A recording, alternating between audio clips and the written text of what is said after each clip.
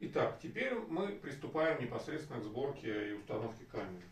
А, отделяем резиновую заглушку, не заглядываем в э, камеру, не тычем туда пальцами, потому что потом это будет невозможно.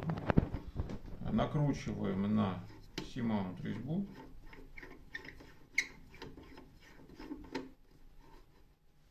Значит, сейчас э, сюда устанавливаем дисплей.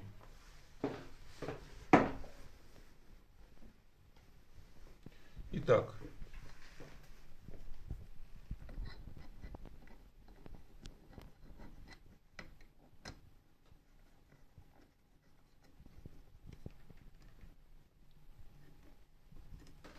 установили. Подключение дисплея осуществляется следующим образом. А, кабель имеет защитные заглушечки, мы их снимаем. Кабель имеет также переходник удобный. Первым делом мы подключаем переходник. Так, следующий шаг. Подключение кабеля.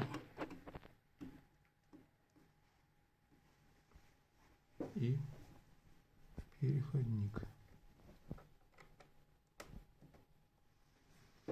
Следующий шаг подключение разветвителя. Первым делом мы подключаем в гнездо дисплея. Следующее подключаем в гнездо камеры 12 вольт. Также устанавливаем SD-карту, про которую мы уже говорили. Естественно, все делается аккуратно, не ломается. Значит, э, согласно нарисованной схеме. Кажется, вот так.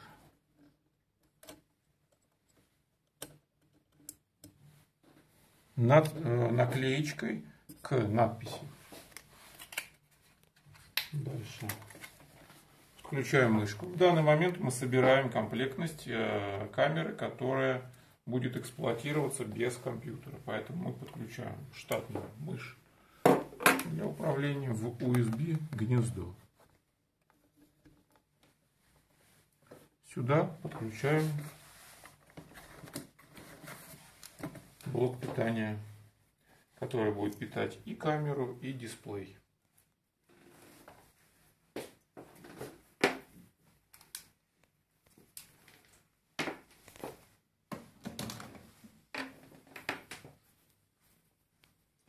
Напоминаю, эта камера также может использоваться вместе с компьютером и транслировать э, Full HD видео в режиме реального времени на компьютер в специальную программу видео э, видеообработки. А уже на компьютере можно сохранять фото, видео э, сразу в карточку пациента. Ну, естественно, это зависит от программы. Итак, Теперь мы поворачиваем дисплей окончательно в то положение, которое нам нужно. Э, устанавливаем удобный угол э, с помощью угол дисплея с помощью этого винта, ослабив, придав нужный наклон и прижав этим прижимным винтиком. Включаем питание кнопкой питания. Когда камера включена, загорается э, синий светодиод. Когда она выключена, горит красный светодиод, индикация питания. Синий индикация работы. Так,